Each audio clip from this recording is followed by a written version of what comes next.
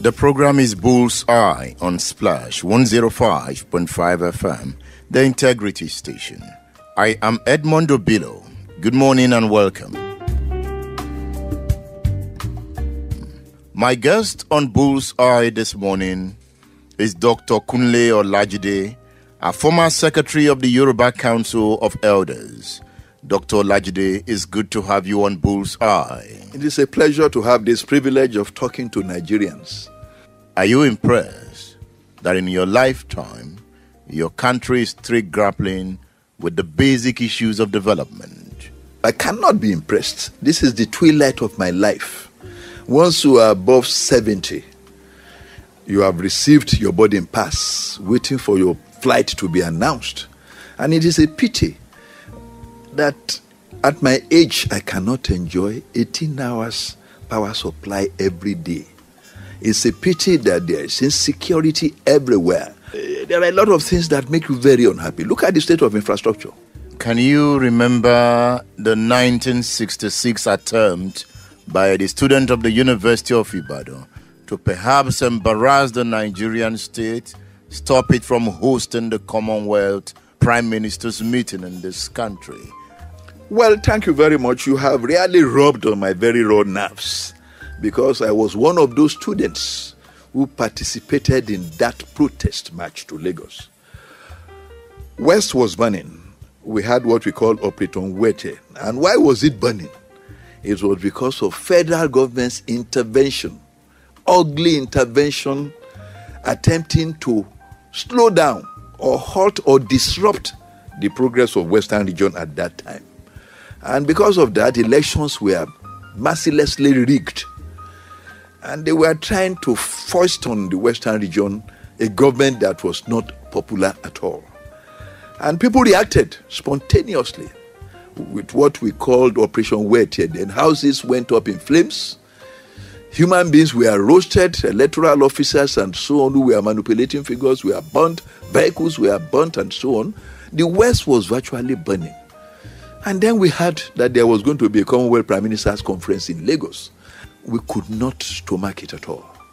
So we arranged to move to Lagos from Ibadan, which we did. I think we set out at about 6.30 a.m. in the morning. We hadn't had breakfast. Old road, tortuous road, through Shagamu, Ikorodu, and so on.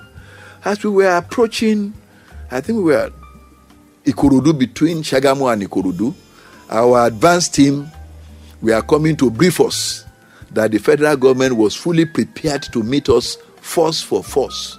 And they had amassed policemen in battle gear ready at the junction of Maryland. In fact, that infuriated us the more. And you know, you students, I'm sure you were a student before. We felt, yes, we were going to meet them force for force. So, what happened? We continued the journey. We, we continued the journey to Lagos.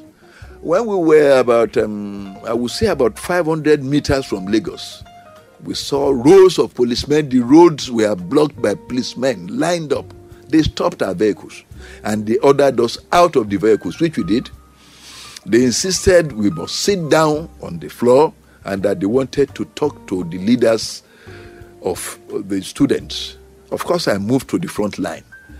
Uh, I was very quite familiar with demonstrations, and I know that when policemen throw their tear gas canisters, they throw it over and above their head. So if you move near them, you escape the fumes. So I was at the front row, and I had the negotiation between the police officers and the student union leadership. They said we should turn back. Our leaders insisted we were not going back. They said they would not allow us, and they gave us about 10 minutes to change our minds and get back into our buses and ride back to Ibadan. We refused. So when the 10 minutes elapsed, they ordered the policemen to shoot tear gas canisters. Of course, we started running. The policemen were chasing us. By the time we were about two kilometers from that spot, they had succeeded in arresting some of our students who inhaled the fumes of the tear gas. But of course, some of us were still strong. One thing I can take away from this is the resistance offered by the students to the state. If we had such resistance at constant basics, do you think this country would be at this point? Thank you very much. We will not be where we are today. The resistance is, is, is lacking now. Uh, students' union, uh, youths have been compromised. But even when they dare, the university authorities clamped down very hard on them. I will tell you our story. Perhaps uh, in my class, I was one of the youngest two then. I was very young. We had matured men in those days, people who had families coming to the universities and so on. Not what obtains now, that most of them are just teenagers. The university authorities respected us. We played responsible student unionism. And no government authorities or political parties infiltrated the university. We, they had, we had students, the wings of political parties then. It was allowed in the university. Uh, by 1966, I was the assistant secretary of the Action Group Students Union. And um, so we played responsible unionism. And the university authorities respected us for it. Professor Dike was our vice chancellor. If I continue with my story, by the time we had, with the police chasing us and we moving backwards, traveled about a kilometer, one and a half, the police exhausted their tear gas canisters. They were tired too because they are human beings. Of course, we were tired. So they now made, they were making overtures to us. And we told them we will not go back unless they released all the students they had arrested. They agreed to release them. By this time, it was going to about 3 p.m., 3, 3.30 p.m. Some the struggle that started around 12 noon. And when they released our students to us, then we turned back. The interesting thing is this we didn't know at all that they had arranged to arrest us at um, Idia roundabout when we got approached Ibadan. We were already tired, exhausted, no meals, nothing. We saw just one policeman standing on the highway, not knowing that at the other end they had multiples of jeeps and uh, the, the policemen in anti-riot gear waiting for us. So they stopped our bus. We stopped. The policeman peeped into. My boss was in the front and said, "You are students from Union." We said, "Oh yes, we are going to back to our campus." They said, uh, "We are." They are sorry. Then he blew a whistle, and we saw policemen coming out of the bush in numbers. Of course, we laughed at them because we said there was nothing they could do to us. But what did they do? It's interesting to know what they did. The entire ring road now, there was no single house there. The road had just been constructed. So they led us, some policemen in front of the of our convoy, some at the back. They drove us through Ring Road straight to Iyaganku police station.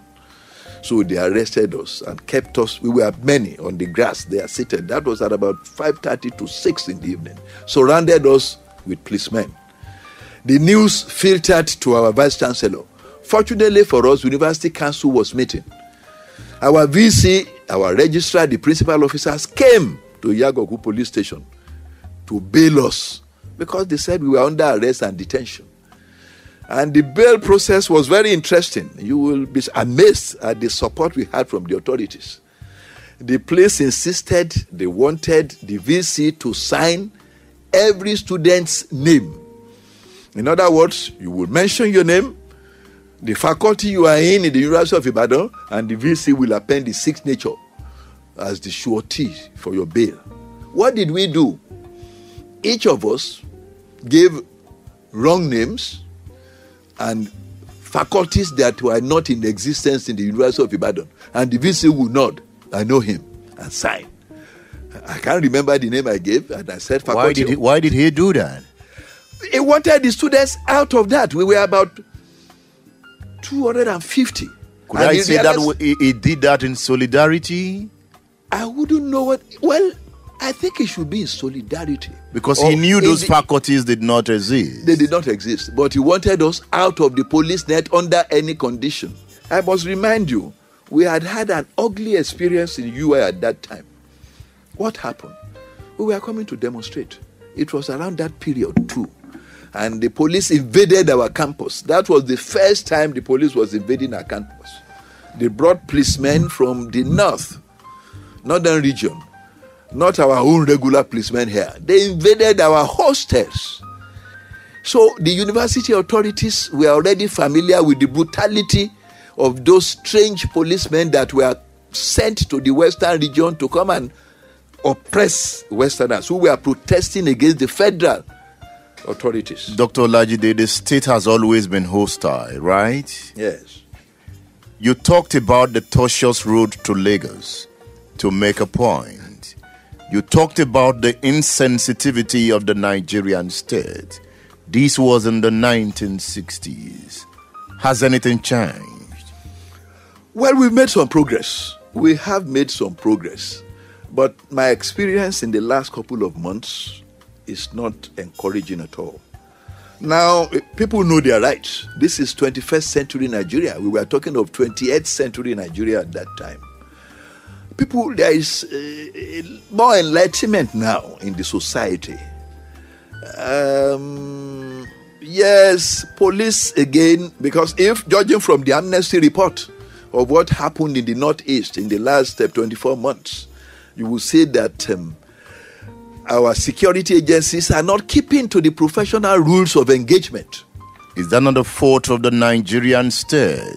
It is the fault of the Nigerian state. Look at what happened in, I think it was Kaduna, with this El, El Zaki thing. Where, where, where thousands were killed. And were buried.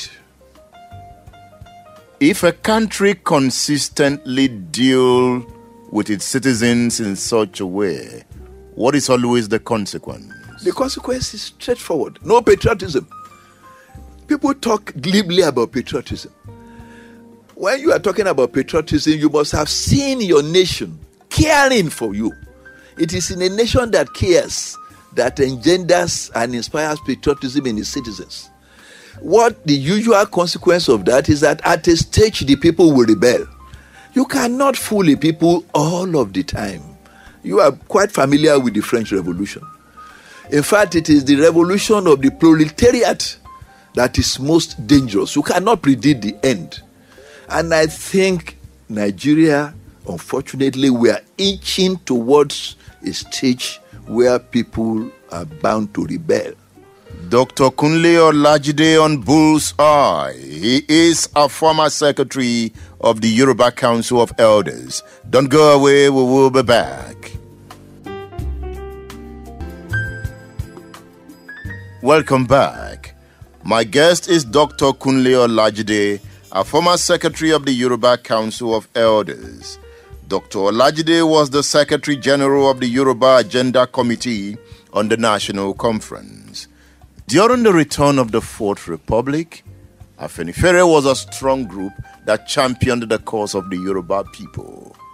Before we knew it, the group came crashing and you, among others, decided to champion a new movement known as the Yoruba Council of Elders. Why did that happen? Thank you very much. You are very right that Afenifere was one of the leading force in NADECO that brought back democracy to this country. That's true. And immediately after 1999, Afeni Afenifere was the in thing among the Yoruba people. And you remember, if you recall, the five Yoruba states were won by Alliance for Democracy, that you could rightly describe as the political wing of Afenifere. Now, Chief Obasanjo became president of Nigeria. And some of our elders, I'll mention names here, uh, late Chief Mrs. H.I.D. Awolowo, Papa Reverend Alayande and Justice Adewale Thompson, including Chief Bola Ige, felt that Yorubas needed to give some support to Chief Obasanjo because Awolowo fought tooth and nail to become the leader of this country, but some forces stopped him even when he won in quotes election. Now, Chief Obasanjo is president of Nigeria, even though the Yorubas did not vote for him at all. And they thought, in our wisdom, he's a Yoruba man, and at that time he was representing Yoruba. People will cite it in history that the Yoruba was president. So they thought it was necessary for us to give him the support to make him succeed. And that was, but Afenifere was still firing shots at him because he was not the candidate of Alliance for Democracy. He You was- were a member of Afenifere. all of us were members. In fact, Balayode, Chief Mrs. Awolowo, and so we are the people who founded what Afenifere was. Can it be said here that Obasanjo used the likes of Bola Ige, Pa and even Dr. Olajide to disunite Yoruba land? That cannot be correct at all. Because, in fact, Obasanjo was not even in the know. You will be amazed that young men like you, they are still young. I think one of them was here some time ago, Victor Taiwo, uh, Dixon Ogushua. They were the full soldiers of the YCA. We had founded the YCA. If you knew the personalities I'm talking about, nobody could use them. Chief Obasanjo, when he was military head of state, almost single-handedly stopped Awolowo from being president of this country. So you will know that he could not have been in the good books of the Awolowo family. Yes, because yeah. Bola Ige fell out with the core of Afenifere, he decided to work against them, right? He did not work against them. Uh, it's a shame. If I knew this question will come up, I will bring a memo that I took. I was a member of the Alliance of Democracy. In fact, I contested for the governorship ticket of Ekiti State on the platform of Alliance of Democracy. I lost to the governor then, Adebayo. Then that governor, even before he assumed office, came, visited me in my house the second day after the primaries, and insisted I had to be the chairman of his own campaign committee, which I was, and insisted I had to go to the Senate. And um, at the D. You must have heard about D. Uh, meeting. That was where uh, Chief Alai was picked instead of, in quote, Chief. And I lost too because they picked um, Senator Oni of blessed memory, who was the son of Chief T.A. Oni on the basis that uh, the wise men in D. Rovans said that um, Chief T.A. Oni financed Action Group and as such, and I was a relatively unknown young man, and so on. It was not Bola Ige. When we formed this, the first attempt was made to dissuade Afenifere from firing shots. We did not just break out. Papa Alayande, late Chief Mrs. Awolowo, late Justice Thompson is unfortunate they are all dead. They attempted to change the thinking, the psyche of Afenifere that now our son is there let Afenifere back him because in the event if he failed as president, other Nigerian nationals will say Yoruba failed. Who truly initiated the formation of the Yoruba Council of Elders? Justice Adewale Thompson. Adewale Thompson was the Attorney General under Bola Bola Ige. Ige. Yes, you are right. Was he not working for Bola Ige to form the YCE? It was not working for Bola Ige. Some of us, I as a person, was against Bola Ige's taking appointment in Obasanjo's government. Did you tell him? I told him, I have a memo. I will let you have a copy of the memo. Alliance for Democracy in the National Assembly constituted a committee to investigate the crisis you are talking about in Alliance for Democracy. And they invited people to come. I went all the way from Ibadan. I still have the copy of my memo today. I devoted a whole paragraph to Chief Bola Ige's appointment. It was a subheading in my memo. At that sitting, Ambassador Fafowora was present. A lot of people were present. I think Chief Bisi Akande himself was present. Some, some few people were present. It was in Nicon Noga Hilton then. Under Bola Ige, I can tell you almost verbatim what I wrote. I said it was unfortunate for Chief Bola Ige, a leader of the progressives, to take appointment in a conservative government run by the People's Democratic Party. That who told him that in year 2003, Bola Ige or Izefe will not be the person in Aso Villa. And I likened it to a situation where an army general with handcuff in hands walks into the enemy territory. I went for that to say that if at the cabinet meeting they were discussing policies of their party, what would he have to contribute as he was not a member of their political party? I said it was dangerous. And I sincerely concluded in my last sentence that I hope Chief Bola Ige will come out of that office unhurt. It was prophetic. Uh, he did not come out he did- unhurt. He did not. It was prophetic. I was given a standing ovation. I have copies of the memo. What and was I his dropped, reaction to your memo? Thank God you asked that question. Brilliant question. As soon as I left the sitting. I drove straight to his house. He was not at home. I dropped a copy of the memo for him. I came back to Ekiti, dropped one for my governor. And of course, journalists took from me. Two or three weeks after that sitting, Professor Tunde Adeniran, I think he lost his mother.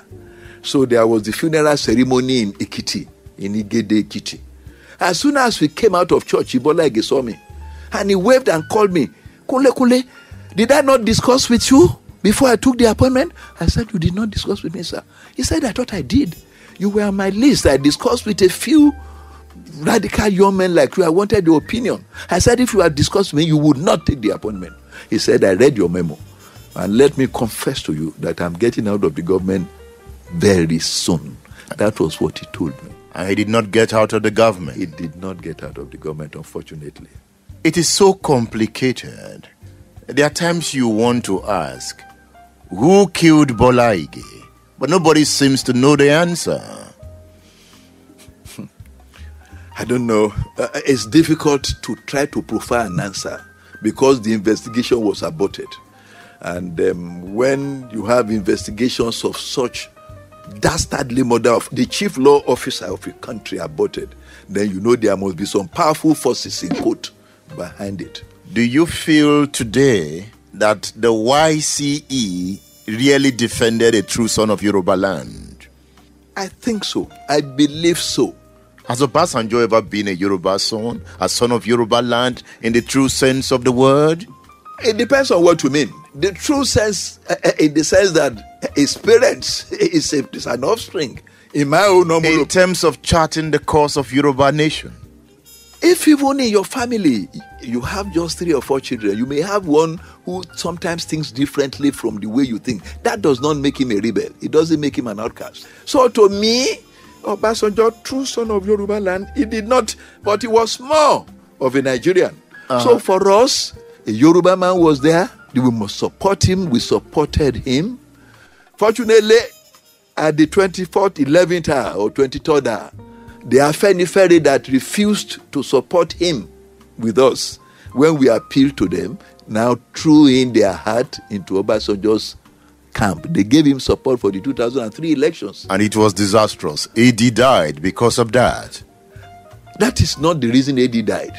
The governors lost the election. Uh, yes, did, that didn't mean AD should die. Tinubu still won. He was the only man standing. If he still, if Tinubu still remained in the AD, AD would not have died. Afenifere would still have remained strong, appealing to the sentiments of the people, commending the governors of even PDP when they did well, and criticize them when they did not do well. But it was the, because of Tinubu backing out of. Tinubu didn't want to be controlled by old men. My dear brother, was he wrong? He was wrong. He was wrong. He was wrong. They campaigned for all the candidates. These same old men went round all the, the, the states, the southwest states, to campaign and it was the goodwill and credibility of these old men that gave Tinubu the ticket. You know, Tinubu was not in the country, he was in um, the, the exile during the period leading to the 1998 elections. He but he came back, but he proved them wrong that he can do it, and he he did it. Today, he's the super politician in the southwest. It depends on what you mean, my brother. It depends on what you mean. If you are reading the barometer very correctly, which I imagine you should do, get judging by your level of intellectual depth, I'm not too sure Tinubu is very happy now. Because for 23 years, Tinubu is my friend, childhood friend. We grew up together in Ibadan, childhood friend. Even when he became governor. Before he was sworn in, he came here to take me to Lagos. So we are friends. Tinubu has been championing the cause of restructuring of Nigeria for over 20 years. Now, APC is in government, a government he labored tirelessly to install. And I have said it, I commend the courage of Tinubu. You may not like his politics, but he successfully built a platform that removed an incumbent president. But what is happening now? Are you uh, sure he's not happy, Dr. Lajide? He's your friend. Are you sure your friend uh, is not happy? Perhaps I have to qualify it. He's happy, his sympathy is in government. But whether he's happy with the goings on is what I'm not too sure. I haven't seen him for quite a while. But I know that some of the things, I mean, you remember a few months ago when he made an open declaration against uh, Ibe Kachikwu. That is not the sign of somebody who is happy with the goings on. Because being his government, he could have invited Kachikwu or picked a phone and talked to Mr. President. But if you send such a, a stinging article, letter to the public space, then it, you know, it's a sign of discontent with the goings on there.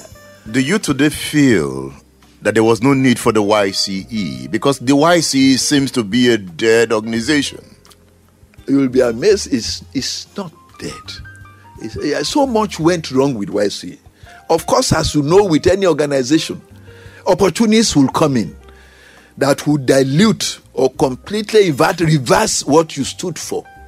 Opportunists came in, people who were not part of the movement, who did not know what we stood for. And um, so it is not dead, it is still active, but we are trying to revive it now. It was formed to help Obasanjo. Obasanjo is no longer there.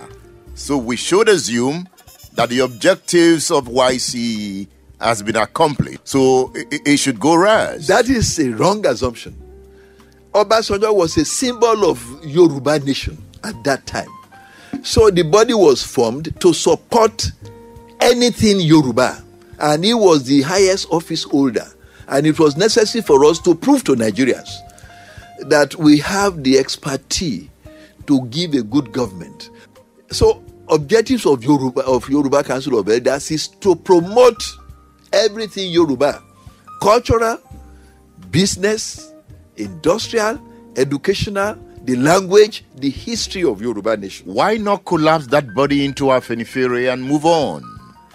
Afenifere itself has gone into splinters.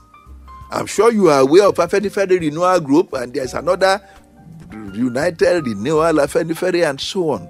But we are working very hard now to bring all these bodies together. If you recall, a few months ago, I was the chairman of the planning committee of Yoruba Summit, where we succeeded in bringing Yoruba, the leadership of Yoruba organizations together. YCE was there represented by General Adebayo. Afenifere was there represented by the Secretary General Larubofa. Odua People's Congress, the two factions were represented by Dr. Fasheun, Chief Gani Adams, and so on. So we are trying to forge a common front now. And um, I sincerely hope we will succeed. But where you have ego problems, you know, Yorubas will say that I fagbafenikon, in other words, where you do not differ to an authority, then uh, the, the, the, body will not hold. Uh, so Dr. we are Lajide, working hard, yes. Do we need a Yoruba leader now? I think Yoruba, the issue of Yoruba leadership, to my mind, is obsolete. Have you had the British leader, or leader of the Germans, or leader of the Canadians, and so on? No. What we need, we need leadership group. It has to be. You are a leader in your field. I respect you. I doff my hat to you. You can be part of the leadership of wherever you come from. But the era of having somebody imagine as Yoruba leader or Igbo leader is gone and gone forever. The situations created it at that time when we had Awolowo chosen as Yoruba leader. Those situations don't exist anymore. But what we are trying to do is to mass opinion.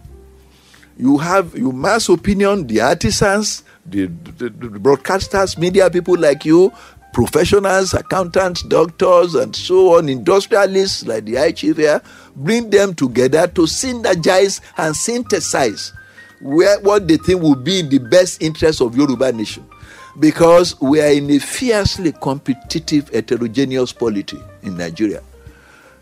We must not deceive ourselves.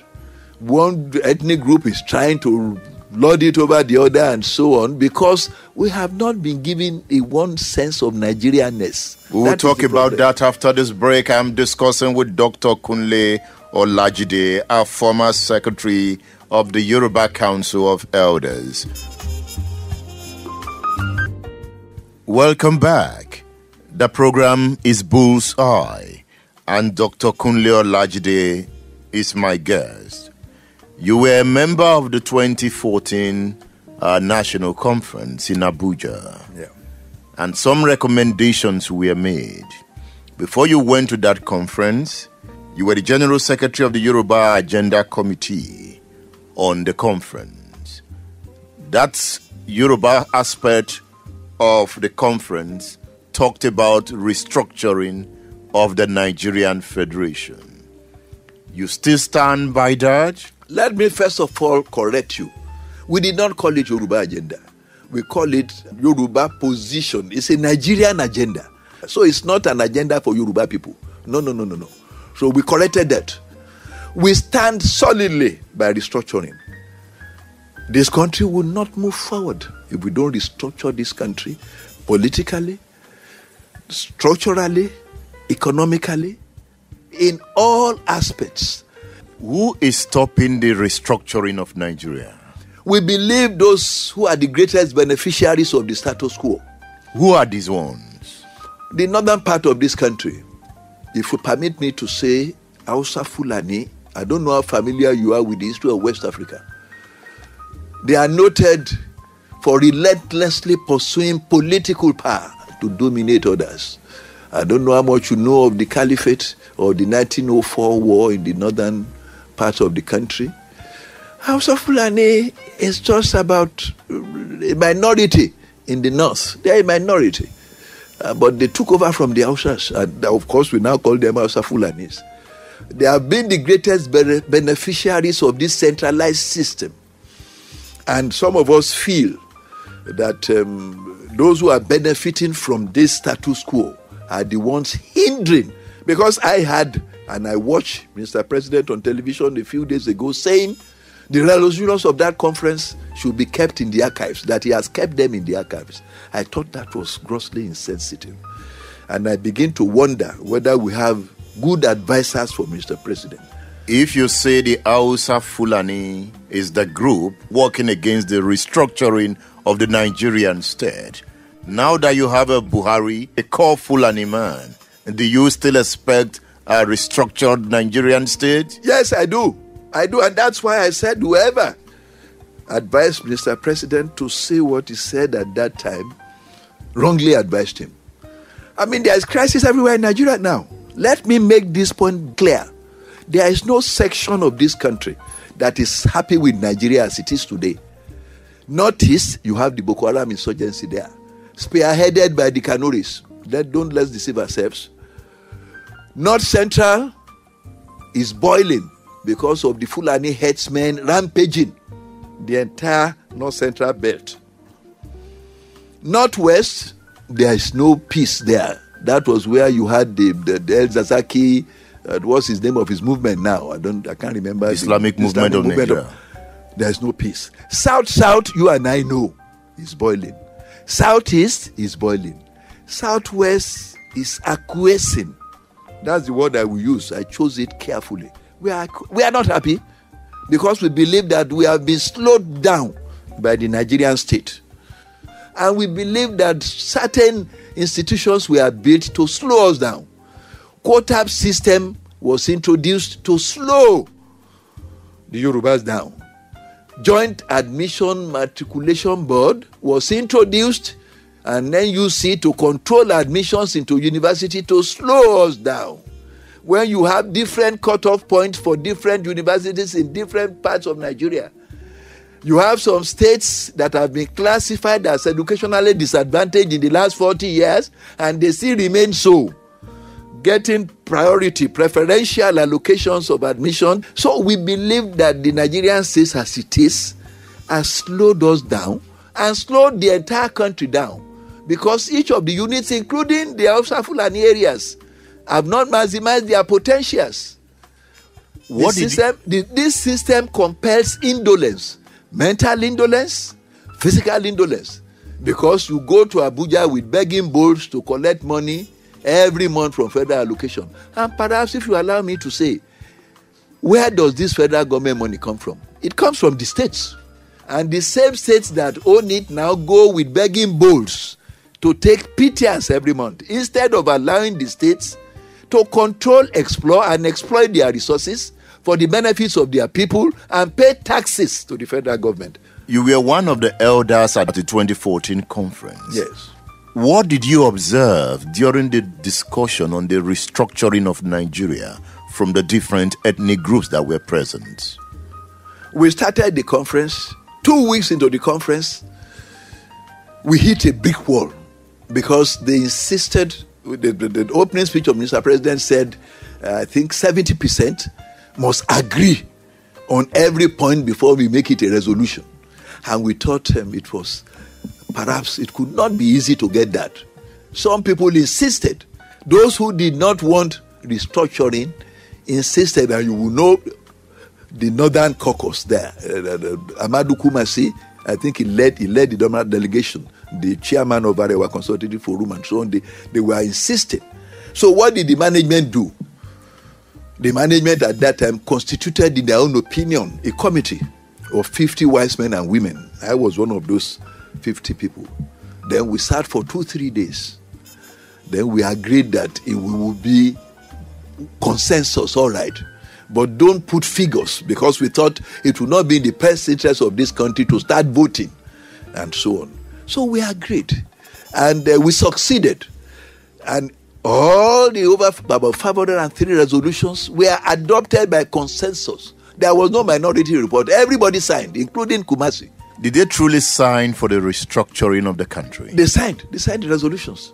But as soon as Buhari won the election, if you recall, I think it by the time he was sworn in, he was sworn in in May 29th. By June, the same people who signed the report organized a northern conference in the north, uh, spearheaded by Junaid Mohammed. Junaid Mohammed was a member of the conference, organized another conference. And uh, it was um, the vice president who went and declared it open on behalf of the president, trying to sabotage what we did. And I imagine that was why Mr. President said the 2014 resolution have been kept in the archive. So, can you say from all these complications that the likelihood of restructuring the Nigerian state through a peaceful means is not there? Those who make peaceful resolution of conflicts impossible make violent resolutions inevitable. You can see what is happening now. I don't like violence in any form. I'm a liberal, I'm not an activist. But if you make it impossible, I sincerely hope these Avengers will not bring Nigeria down to its knees. They are calling for a sovereign Niger Delta. Does that scare you? Let me tell you, when you want to bargain, you ask for the uppermost, the utmost. But where you are going really is restructuring, resource control. Yes, you see, we cannot escape restructuring. And I think this is the time to do it. When there is restiveness right, left, and center. Don't you think the state can forcefully calm this restiveness in the southeast and in the south south? Well, I don't know. Well, from your name, I think you are a Christian. My religion tells me there is one part of man that does not die. That is the human spirit. It's difficult to kill the human spirit as long as there is injustice the body language of Mr. President must convince all Nigerians that this government is going to be all inclusive. Up till now, I have not seen that. He did not mention the Fulani headsman during his May 29th day broadcast. I think that was grossly insensitive to the Nigerian people. These herdsmen had murdered over a thousand people in the last nine months, and they are still on rampage. And yet, Mr. President did not utter a word. I think that was, to my mind, some disservice to the people who elected you. are from Ekiti State. I am from Ekiti State. And your governor has told his people if they come near you, kill them. I'm on all fours with my governor as far as saying that nomadic grazing should be banned.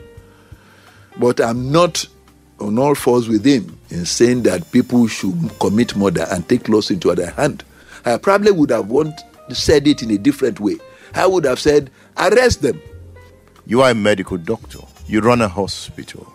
Are you impressed with the health sector? Absolutely not. I'm not impressed with the health sector. Neither am I impressed with any sector of Nigerian life. Nigerians are dying every day. Precisely. No drugs in the hospitals. The states cannot even run the few hospitals they have. And people have no money to patronize even private hospitals in a state where salaries have not been paid for five, six months. So, how do you cope with your hospital? Well, we are coping. It's difficult, but we thank God for HM health management organizations and the National Health Insurance Scheme that is covering just a tiny percentage of the Nigerian population, but it's affecting us very badly. Very, very badly. I am very sad in the twilight of my life with the state of the nation. May God help us. Dr. Kunle Olajide, thank you for featuring on Bull's Eye. It is a pleasure having this opportunity. I've been discussing with Dr. Kunle Olajide, a medical doctor and a former secretary of the Yoruba Council of Elders. You have any comments? My email address is eobilo at splashfm1055.com. eobilo at splashfm1055.com. You can send a text message. The number is 080 1849 080 1849 You can also leave a message for me on Twitter. My Twitter handle is at eobilo. At eobilo. Next Monday is another time on Bull's Eye. Until then, I am Edmund Obilo. Thank you for listening.